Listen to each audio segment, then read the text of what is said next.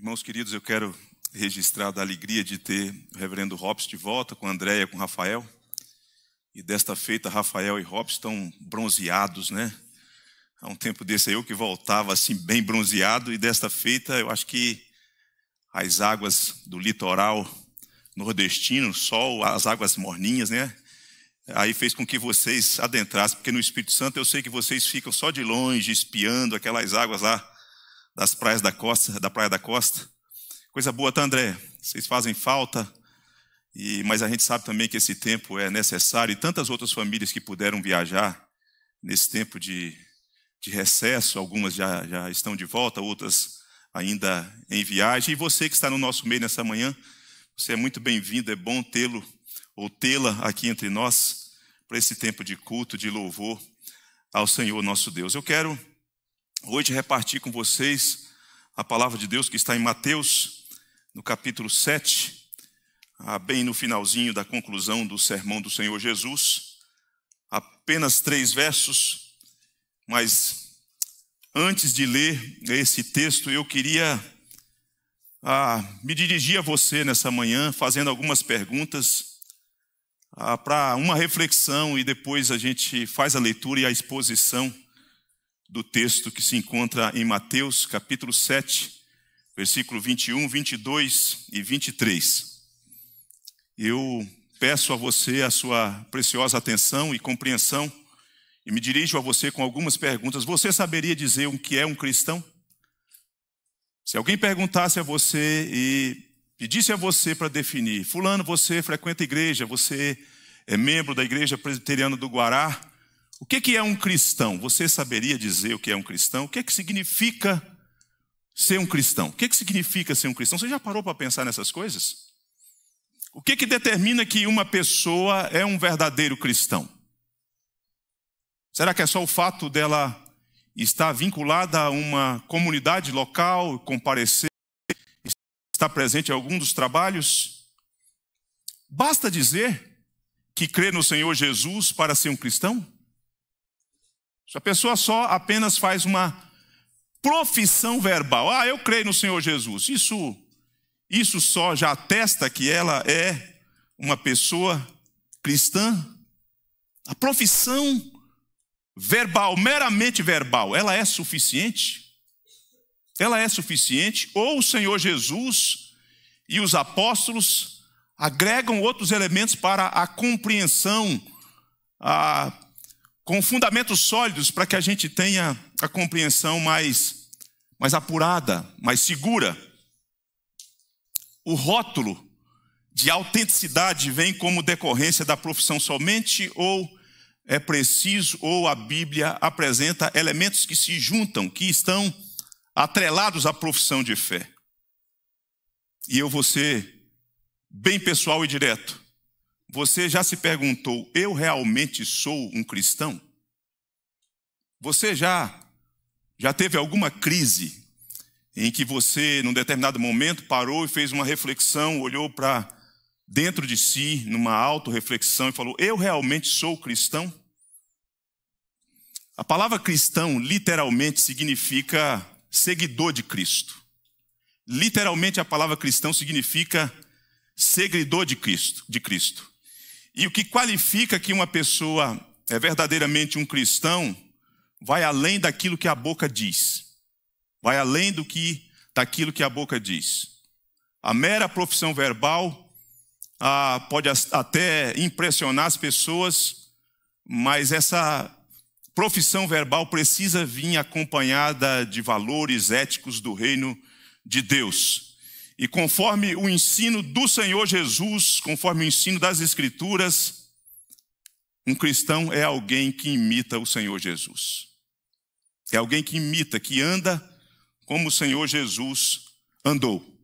Vamos ao texto então de Mateus, depois de, de me dirigir a vocês com essas perguntas, vamos ao texto e vamos ouvir o que o Senhor Jesus nos diz nessa manhã, por meio do texto santo, que diz assim: nem todo o que me diz, nem todo o que me diz, Senhor, Senhor, entrará no reino dos céus. Mas aquele que faz a vontade de meu Pai que está nos céus. Muitos naquele dia hão de dizer-me, hão de dizer-me, Senhor, Senhor, porventura não temos nós profetizado em teu nome? E em teu nome não expelimos demônios? E em teu nome não fizemos muitos milagres? Então, lhes direi explicitamente: nunca vos conheci, nunca vos conheci. Apartai-vos de mim, os que praticais a iniquidade, diz o Senhor Jesus, por meio da Sua palavra. Uma vez mais, feche os teus olhos e vamos falar com Deus. Senhor Deus, nos alegramos em Ti e com a oportunidade que nos concedes nessa manhã de estarmos juntos congregados, como ovelhas do Teu pastoreio. E nessa manhã, Pai, enquanto aqui estamos, nós te pedimos, se tu propício a nós, levante sobre nós o teu rosto e pastoreie o nosso coração. Console, confronte e faz aquilo que ninguém mais pode fazer. Eu creio, Pai, que essa manhã que o Senhor nos dá como um presente maravilhoso, essa mensagem ela há de revolucionar a mente e o coração daqueles que aqui estão. É assim que o Senhor Deus tem feito no meu coração. Foi assim que o Senhor Deus fez durante essa semana. E eu creio piamente que o Senhor Deus há de, de corrigir equívocos, fortalecer confiança, destruir falsas confianças e fazer de pessoas aqui novas criaturas nessa manhã para a glória do teu próprio nome. Nós oramos em o nome do Senhor Jesus. Amém.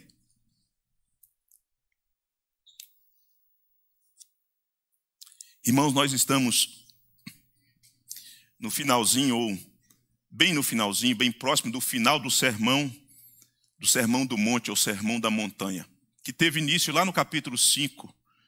E neste, nesses capítulos, capítulo 5, capítulo 6 e 7 do Evangelho do do evangelista Mateus, o Senhor Jesus discorre sobre vários assuntos. São, é, um, é um sermão amplo que abarca muitos assuntos, que, se, que tocam em muitas áreas, muitas esferas da vida. E agora o Senhor Jesus caminha para concluir o seu sermão.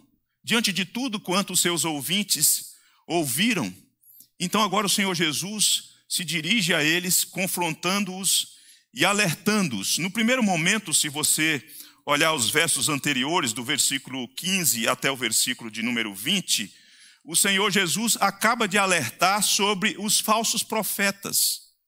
Ele ensina e fala: olha, os falsos profetas eles existem.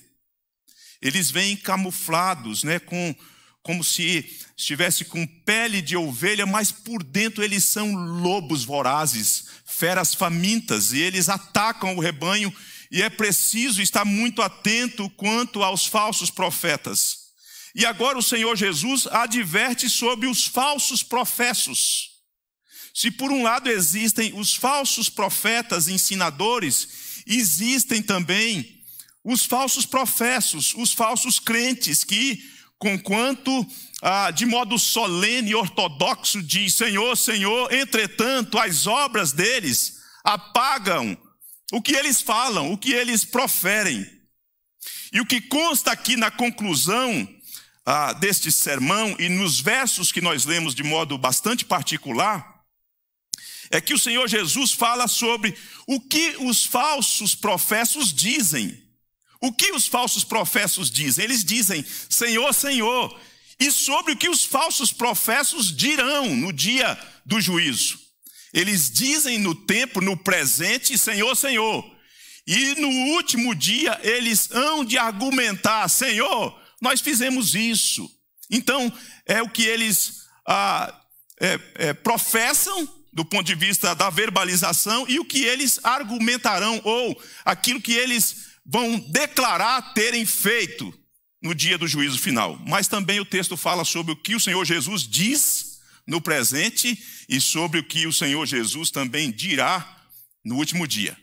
Então ele intercala e traz essa instrução. Vamos ver a priori a profissão verbal do falso profeta ou do falso crente. Nem todo o que me diz, diz o Senhor Jesus, Senhor, Senhor, entrará no reino dos céus, mas aquele que faz a vontade de meu Pai que está nos céus. Irmãos, muito cuidado. Essa mensagem nessa manhã é uma mensagem solene. Nós precisamos ouvir com muita atenção, porque ela pode revolucionar sua mente e o seu coração e alterar o curso da sua história nessa manhã do dia de hoje. Então, muito cuidado, não se engane, não se engane.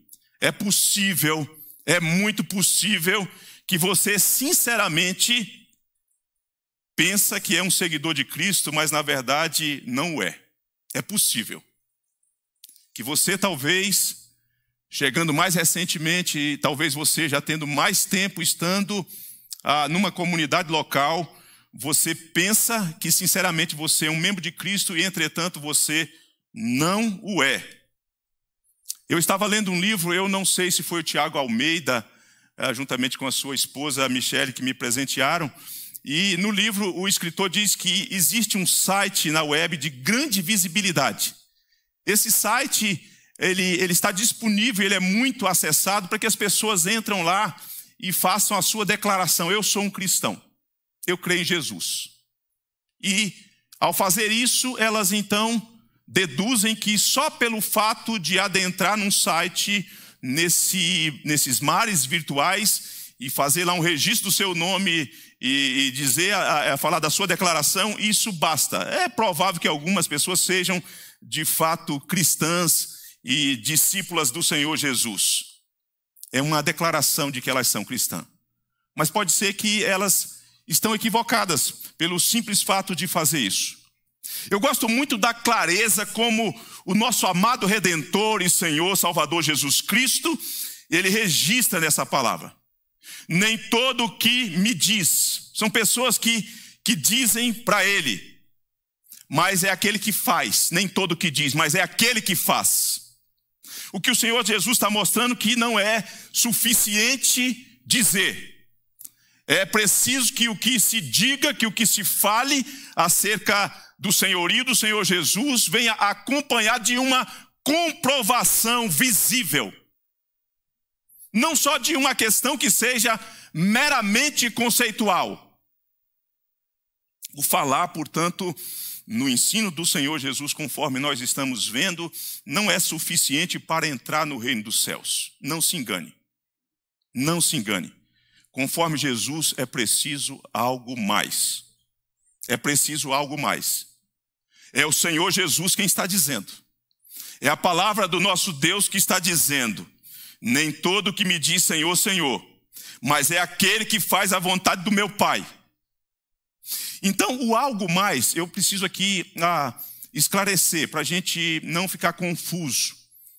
Ah, o algo mais aqui que, que eu estou ah, trabalhando a partir da fala do Senhor Jesus, não, não vem como a adição à fé, não é algo que é adicionado à fé, mas é algo como comprovação da existência da fé verdadeira. Quantos aqui me entendem nessa manhã? É a profissão de fé, e o algo mais que o Senhor Jesus está dizendo não é adição à fé, não tem que adicionar nada à fé, mas é algo que vem a riboque da fé, como comprovação da existência de uma fé verdadeira. É disso que o Senhor Jesus está dizendo. Ele não está negando que a profissão verbal seja necessária, ela é necessária. O Senhor Jesus está dizendo que algo que é solene, soleníssimo, que vem por meio dos nossos lábios, Senhor, Senhor, é necessário e pode parecer algo grandioso, mas se a fala, se a profissão verbal não vier acompanhada da obediência, se a profissão verbal não vier acompanhada da obediência, então o que parecia ser solene se torna algo vazio e profano. Estão entendendo a gravidade do que o Senhor Jesus está dizendo? Algo que aparentemente, ou dentro daquilo que os nossos ouvidos captam e recebem como informação de alguém que diz para nós, eu creio no Senhor Jesus, e de alguém que não está dizendo apenas para nós, está dizendo para o próprio Senhor Jesus. Entretanto, quando não vem acompanhado da obediência, da ética do reino de Deus, se torna algo vazio e profano. É disso que o Senhor Jesus está falando. Os falsos profetas dizem no presente: Senhor, Senhor. Fazem uma profissão meramente verbal, porém, uma profissão desconectada dos mandamentos de Deus, divorciada dos mandamentos de Deus. Irmãos, a profissão de fé, ela, ela é parte daquilo que classifica uma pessoa como cristã, ou como um discípulo de Cristo. Vejam vocês ah, que não há divórcio, que não há divórcio nisso. Ah, manuseie a sua Bíblia, por favor, indo à carta de Paulo aos, aos Romanos, porque lá Paulo, ele traz, ele fala sobre a importância da profissão de fé, do coração, que daquilo que brota do coração enquanto transformação do Evangelho pela operação do Espírito Santo. No, na carta de Paulo aos Romanos, no capítulo de número 10, versículo de número 9 e 10, diz assim: Se com a tua boca confessares Jesus como Senhor, então é necessário a profissão de fé. E em teu coração creres que Deus o ressuscitou dentre os mortos, serás o que, irmãos? Serás salvo. Porque com o coração se crê para a justiça e com a boca se confessa a respeito da salvação. É necessário que haja profissão de fé. Quando a gente recebe pessoas no conselho, conselho, os presbíteros dessa igreja têm a oportunidade de receber irmãos que querem se juntar a nós como membros. Alguns por meio da transferência vindo de outras igrejas irmãs ou de outras de outras comunidades, de outros arraiais, e aqueles que tiveram a primeira experiência com o Senhor Jesus, nós perguntamos sobre a profissão de fé. Nós queremos saber quem é o Senhor Jesus para elas na, na compreensão das Escrituras. Nós queremos saber o impacto de quem é Jesus e do que Jesus gerou no coração delas. Mas quando nós começarmos a caminhar juntos, é que nós vamos perceber se há frutos naquilo que foi dito lá no conselho daquilo que é dito aqui por ocasião da recepção. Porque se houver profissão de fé, como Paulo está dizendo que é necessário, que classifica um cristão, e todavia isso não vem acompanhado de uma ética cristã, de valores do reino de Deus, isso depõe contra aquele que está dizendo ser um cristão. A profissão de fé, portanto, meramente verbal, de uma coisa que é fruto só do intelecto, é insuficiente é insuficiente. Para uma pessoa ser salva, ela precisa mais do que profissão de fé, ela precisa demonstrar um comprometimento com os mandamentos do nosso Pai Celestial. Do nosso Pai Celestial. Aqui, se você notar, se você notar, você vai perceber que existe essa profissão de fé, Senhor, Senhor. O que, que isso implica? Isso implica que é uma profissão respeitosa, que é uma profissão ortodoxa, que é uma profissão fervorosa e pública. Porém, desacompanhada do termômetro da verdadeira fé, da temperatura da verdadeira fé, da verdadeira fé, que não consegue demonstrar o teste da fé. Ela existe, ela é verdadeira mesmo. É disso que o Senhor Jesus está falando. Ela é respeitosa, ela é ortodoxa, ela é correta, ela é até certo ponto fervorosa, ela é de certo modo pública. As pessoas escutam o falso crente, o falso professo dizer essas coisas. Entretanto, quando vai checar a luz do teste da fé, qual é o teste da fé? Obediência. E aí não sobra nada. Eu não sei você, mas eu acho soleníssimo a mensagem do Senhor Jesus para os nossos corações nessa manhã.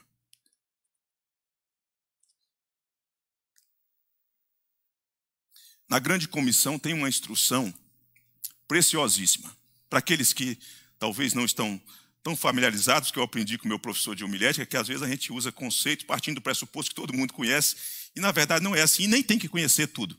Mas a grande comissão é a ordem que o Senhor Jesus dá, que está lá em Mateus capítulo 28, 18 a 20, quando ele diz: Ide por todo o mundo e fazei discípulo de todas as nações, batizando-os em nome do Pai, do Filho e do Espírito Santo, e ensinando-os a guardar todas as coisas que vos tenho ordenado. Discipulado que não chama a pessoa a responsabilidade, discipulado que, que, que vai no, no, no, campo só de transmissão de conceito teológico doutrinário e que não diz sobre as implicações da obediência no que diz aos mandamentos do Senhor Jesus, é, uma, é um discipulado deficiente em que a pessoa começa a pensar assim, então só pela a mera assimilação das doutrinas da igreja presbiteriana do Brasil, isso basta, é suficiente. Jesus está dizendo: não, não. É necessário, é importante, mas é fundamental, é essencial que exista o teste da fé. E o teste da fé, conforme o ensino do Senhor Jesus, é a obediência, a relação que nós temos com o mandamento do nosso Pai Celestial. A profissão de fé, profissão verbal, não pode estar dissociada de obediência. Nós estamos falando que o nosso tema anual é santidade ao Senhor. Nós estamos falando que nesse mês nosso tema é santidade e serviço. Isso tudo tem a ver com santidade e serviço. Porque, irmãos, a obediência é o teste da fé. Veja comigo, manuseia a Bíblia mais um tiquinho. Indo à primeira carta de João.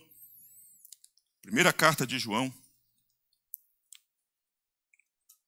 Está antes do Apocalipse um pouquinho para facilitar a sua vida. Veja, eu vou ler alguns textos para você perceber como que João, o discípulo amado, é incisivo. Veja o que consta no capítulo 1, versículo 6. Vejam como isso é solene e que nos chama a uma reflexão profunda sobre a nossa vida. Versículo 6 diz assim, capítulo 1 da primeira epístola de João, versículo 6. Se dissermos que mantemos comunhão com Ele e andarmos nas trevas, mentimos e não praticamos a.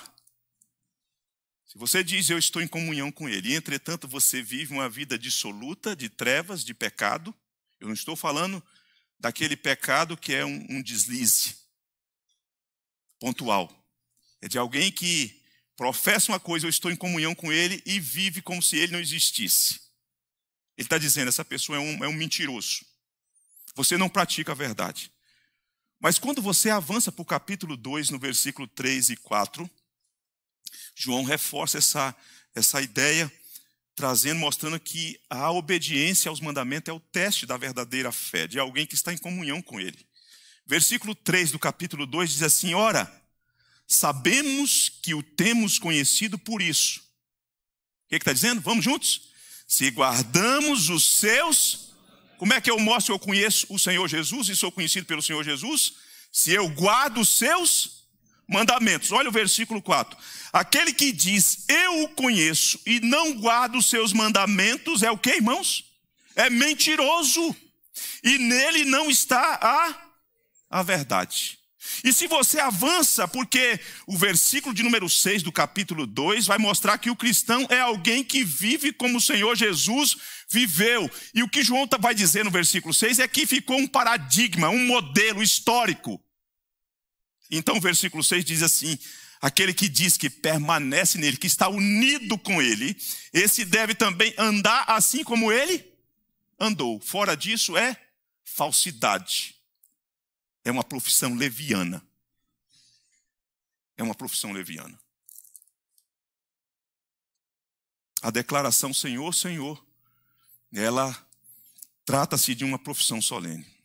Os falsos, os falsos professos, os falsos crentes que estribam apenas a sua confiança naquilo que eles absorveram intelectualmente então acha que é suficiente dizer essas coisas, está fazendo uma profissão ortodoxa, mas elas, essa profissão não resistirá ao juízo do Senhor Jesus. A recitação do falso crente Senhor, Senhor, não é o bastante. Não é o bastante, não subsistirá, não será mantida. O sopro da voz do Senhor Jesus vai destruir essas coisas e aquele que assim procedeu falsamente, levianamente.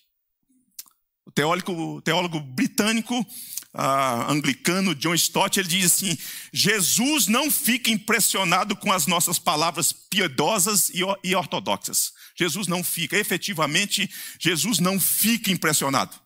Nós ficamos impressionados uns com os outros, quanto, quanto mais volume, quanto mais habilidade para fazer articulação da fé aqui e ali. Mas o Senhor Jesus não se impressiona. Porque o Senhor Jesus conhece o coração e quer que aquelas coisas que fazem parte da nossa confissão do coração sejam reverberadas na prática e de um modo concreto. Eu penso que a, o patriarca Isaac, filho de Abraão, ele exemplifica o que é a junção da fé com a obediência. No capítulo 26 do Gênesis, não precisa abrir, ele está vivenciando um tempo de crise, de seca, de escassez, e no coração ele tomou uma decisão de ir para o Egito. A decisão ocorre no coração. Escolhas que você faz na vida, primeiro elas são gestadas aqui no coração. Então ele tinha tomado a decisão e Deus sabia que ele tinha tomado essa decisão. Deus bondosamente vem e o dissuadiu e falou assim: Isaac, não desça para o Egito. Fica na terra que eu te disser, habita nela, eu serei com ela. A promessa que eu fiz a seu pai, eu ratifico a promessa que eu fiz a seu pai. Mas para que você goze da minha presença, na terra onde a crise impera, é preciso que você fique. Se você descer para o Egito, eu não descerei com você. Diz o texto que Isaac ficou em Gerar. O que, que a gente vê nesse capítulo? É que esse homem creu no que Deus falou assim. Se Deus está falando que vai ficar comigo na crise, que ele vai permanecer comigo na crise. É melhor ficar numa terra onde existe crise e ter a presença de Deus. Ele creu.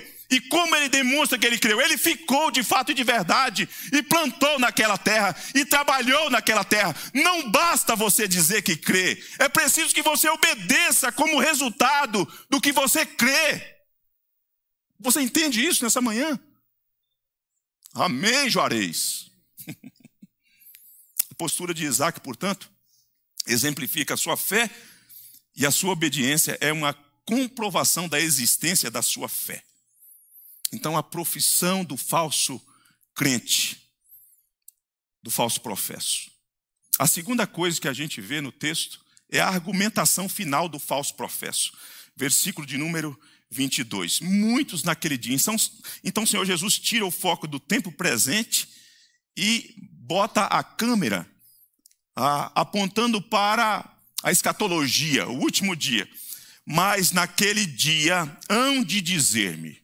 Eles professam no tempo, na existência, na história, e naquele dia, quando estiverem perante o nosso glorioso redentor, eles vão argumentar: Senhor, Senhor, porventura não temos nós profetizados em teu nome, e em teu nome não expelimos demônios, e em teu nome não fizemos muitos milagres? Os falsos professos, os falsos crentes dirão no futuro: Nós fizemos. Agora, não é sobre o que eles, não é só a, a, a verbalização do senhorio do Senhor Jesus, mas agora é uma verbalização, uma argumentação, estando na presença dele, sobre nós fizemos. Nós fizemos. Eu, eu, eu vou dizer ah, como que eu vejo isso aqui, porque tem teólogos que discordam. E se você lê e fala, ah, não, eu fico. Está tudo bem, mas eu vou dizer o que eu entendo que o Senhor Jesus está dizendo aqui. Jesus, ele, ele não se ocupa de, em esmiuçar essas questões aqui, né? Está certo? Sobre o fato de que essas pessoas ah, dirão: Nós profetizamos, nós expelimos demônios, nós fizemos muitos milagres. Jesus ele não nega a historicidade da atuação que é feita em o nome dele. Ele não nega isso. A atuação e os feitos que esses falsos profetas dirão enquanto argumento, enquanto declaração diante do Senhor Jesus, o Senhor Jesus não nega a historicidade de que isso tem acontecido mesmo. É assim que eu vejo. Mas tem teólogos que não pensam assim. É assim que eu compreendo. E Dom Carso, ele traz uma contribuição para isso, que ele diz assim: os falsos pretendentes profetizaram em nome de Jesus. É bom que você entenda. Eles fizeram em nome de Jesus. Eles lá atrás disseram Senhor, Senhor, profissão verbal, solene, ortodoxa, e agora eles estão falando sobre o que eles fizeram em o nome de Jesus. Em o nome de Jesus. Então eu retomo a citação de Dom Carso. Os falsos pretendentes profetizaram em nome de Jesus e por esse nome expulsaram demônios e realizaram milagres. Não há motivo para considerar que as declarações deles são falsas. As declarações deles não são falsas, mas insuficientes. Por qual razão? Porque nada disso vem acompanhado pela ética do evangelho, obediência.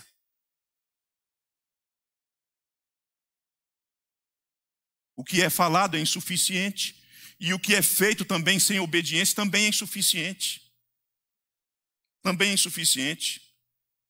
Por quê? Por que, que é insuficiente?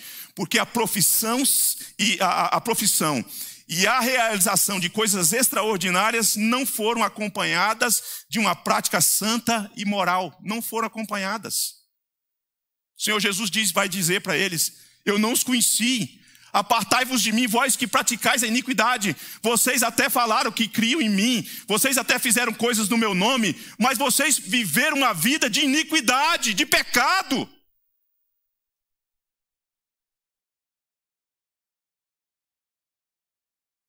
Irmãos, nós precisamos, com o coração cheio de temor, com diligência nessa manhã,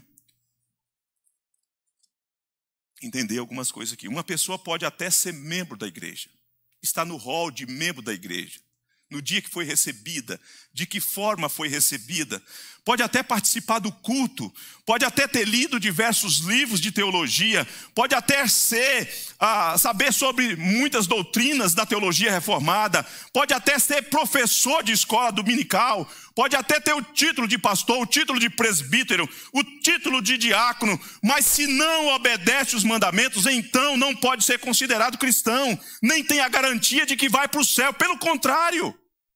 Portanto, a pergunta a ser feita é: ele tem feito a vontade de Deus, essa pessoa diz e faz, mas ela tem feito a vontade de Deus, é um paradigma, é um modelo para a nossa geração de alguém que leva Deus a sério, de alguém que leva a palavra de Deus a sério. Uma pessoa pode até fazer grandes doações ah, de dízimos, de ofertas para a obra missionária, pode até fazer boas obras que as pessoas reconhecem e aplaudem, pode até falar que lê a Bíblia diariamente, o ano inteiro, pode até ser um homem exemplar no trabalho, um homem exemplar na família, porém, se não obedece os mandamentos de Deus, então não pode ser considerado um cristão. E a pergunta é: que tem que ser feita? Essa pessoa tem feito a vontade de Deus? Essa pessoa leva os mandamentos a sério? Nós não, não podemos, nessa manhã, encharcar nossa mente de informação e não nos curvarmos diante de Deus e falar: Senhor, me livra de uma profissão meramente verbal, intelectual, me livra também de ações, de feitos desacompanhados de uma ética do Evangelho do Senhor Jesus. Me livra disso.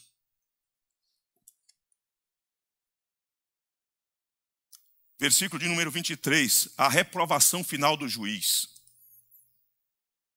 Então lhes direi explicitamente: Nunca vos conheci. Nunca vos conheci. Vocês nunca fizeram parte de uma relação estreita. Vocês tinham informação sobre mim. Vocês fizeram coisas em meu nome. Mas saibam que vocês nunca fizeram parte do meu métier. Oh, agora eu, agora eu gastei, hein? Vocês nunca fizeram parte do meu grupo seleto. Apartai-vos de mim, os que praticais a iniquidade. O que é que nós vemos, irmãos, nesses três versos? Nós vemos discurso, nós vemos serviço e vemos sentença. Nós vemos declaração, nós vemos profissão, argumentação, serviço de pessoas que estavam fazendo, de pessoas que estão fazendo. Mas nós vemos também a reprovação. a reprovação daquele com quem elas brincaram de ser crente. No dia do juízo final, basicamente o Senhor Jesus, sintetizando, ele fará duas declarações. A primeira declaração, a gente encontra em outras partes, mas eu estou tomando aqui o Evangelho de Mateus 25, 34. A primeira declaração ele dirá: Vinde benditos de meu Pai. Entrai na posse do reino que vos está preparado desde a fundação do mundo. Quem professou a fé, quem viveu a fé de acordo com os mandamentos do Pai Celestial, quem fez as obras do Pai Celestial, acompanhado pela obediência aos mandamentos, o Senhor Jesus naquele dia vai dizer: Vinde benditos de meu Pai, entrai, entrai na posse do reino, o reino é de vocês, pertence a vocês, adentrem, gozem, desfrutem do reino. Mas a segunda declaração é que ele dirá, Mateus 25, 41, Apartai-vos de mim, malditos, para o fogo eterno preparado para o diabo e seus anjos. É esse tipo de gente que o Senhor Jesus está dizendo. E sabe, irmãos, Jesus, enquanto redentor e rei e Senhor e Deus, Jesus é quem decide quem entra no reino, mas também Jesus é quem decide quem fica fora do reino de Deus. E ao fazê-lo, a decisão do Senhor Jesus tem como fundamento legal a lei. O fundamento legal é a lei que foi desconsiderada. É o fundamento legal. Você sabe aquela aquela pessoa que é apanhado pelo agente de segurança público que cometeu delito, quando ele é julgado, quando ele é levado perante a, o promotor, a, perante o, o juiz, a, se for um júri popular, então, quando sai a sentença, Lá no coração dele, ele sabe que aquilo não foi injusto, que aquilo foi justo. Que aquilo foi justo. Que a decisão, que os 25 anos de cadeia, que os 30 anos de reclusão é justo, ele violou a lei. E foi mostrado para ele as evidências ah, concretas, fartas de que ele falhou, que ele não levou a lei a sério.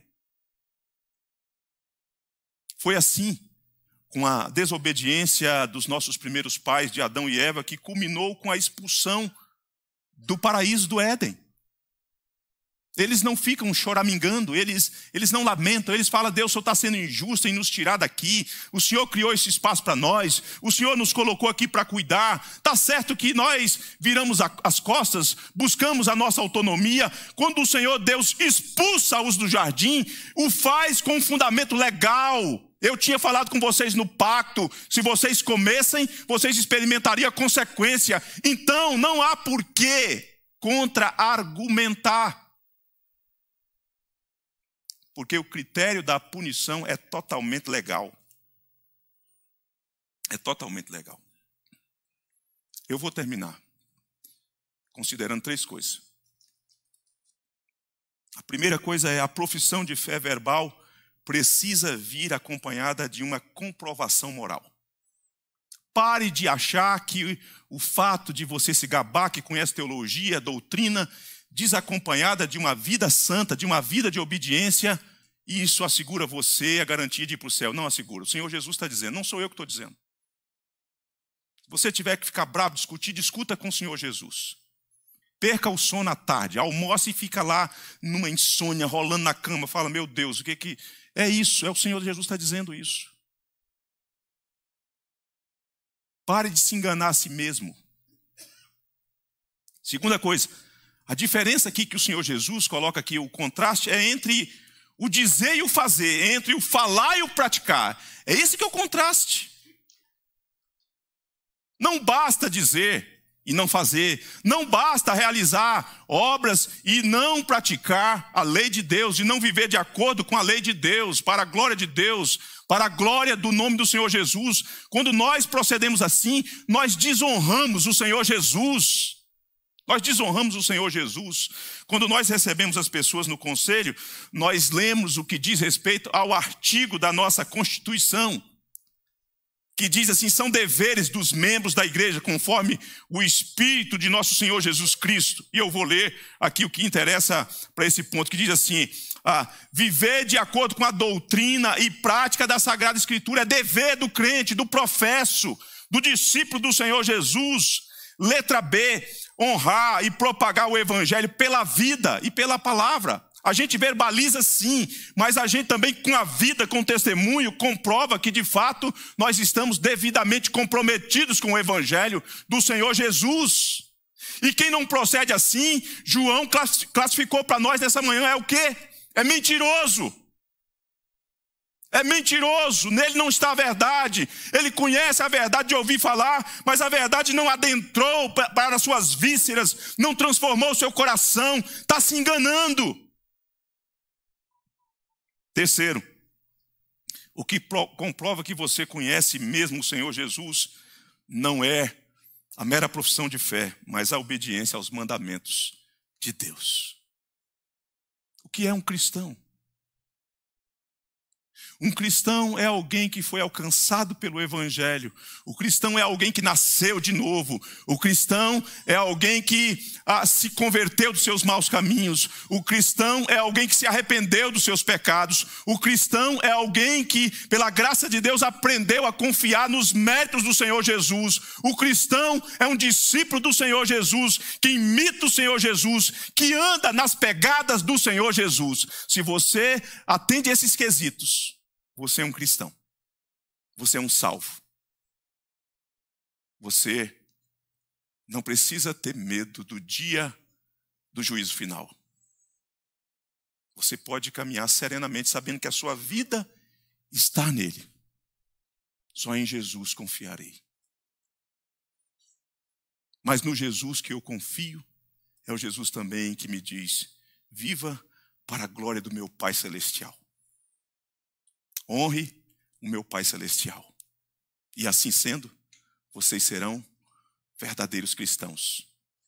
E o que aguarda vocês é um novo céu e uma nova terra, onde habita a justiça, onde permeia o amor e onde a paz é duradoura para todos sempre. Que nessa manhã você tome uma decisão de levar o Senhor Deus a sério de levar a sua palavra a sério. E se, se o seu caso for diferente, se até então você vinha apenas com essa verbalização, essa manhã é uma manhã de firmar um compromisso com o Senhor, uma aliança com o Senhor. Ou talvez você que em algum momento vinha vivendo e vivendo de acordo com o evangelho, mas em algum momento descuidou-se essa semana, essa semana e essa manhã é uma manhã de retomar esses compromissos de um modo solene, ponderado, com convicção, de um modo resoluto. E eu sei de uma coisa: Deus há de sustentar você e guiar você para a glória do nome do Senhor Jesus. Eu quero convidar você a ficar em pé, eu quero orar com você. Eu quero orar por você. E depois de orar com você por você, o reverendo Robson vai impetrar a bênção e eu vou me dirigir a você e a vocês com alguns breves comunicados. Senhor Deus, Deus bendito, que preciosidade é estar aqui, nesta casa de oração, nessa manhã, com os nossos filhos, nossas filhas, com o povo do Senhor nosso Deus. Mais deleitoso ainda é estar na tua presença, do Pai Celestial, do Deus que nos vê, que nos conhece, do Deus que nos sustenta, que nos, nos ampara e nos guia, do Deus que nos alerta quanto aos perigos em que nos rondam e os perigos que são fabricados dentro do nosso coração como uma falsa confiança. Nessa manhã, o Senhor nosso Deus vem até nós e o teu espírito desconstrói, está demolindo toda e qualquer falsa confiança. Para construir uma confiança sólida e verdadeira que é fruto do evangelho glorioso do Senhor Jesus, das boas novas de salvação. Nós nos alegramos em ti. Mas se porventura, Senhor, num momento ou no outro nós temos procedido, ó Deus, de um modo falso, de um modo que não seja verdadeiro nessa manhã, corrige os equívocos.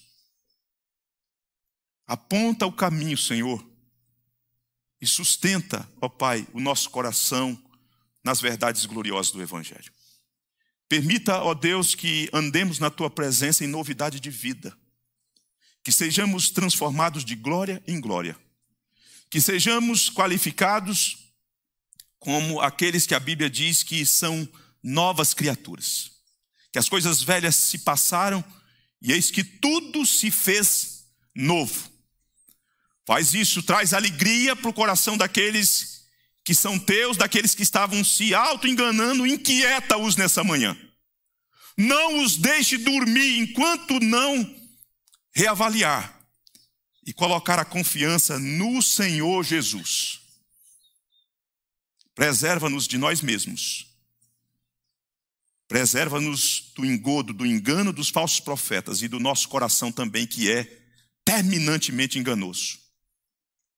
E santifica-nos e nos leve a fazer o bom casamento da santidade e o serviço, do serviço e a santidade. E assim, quando comparecermos diante do Senhor nosso Deus, as nossas mãos não estarão vazias. Nós fizemos o que fizemos para a glória do teu nome, como uma demonstração da gratidão que temos pelo dom maior que nos deste em Cristo Jesus, que é a salvação. Oramos em o nome do nosso redentor Salvador Jesus Cristo. Amém.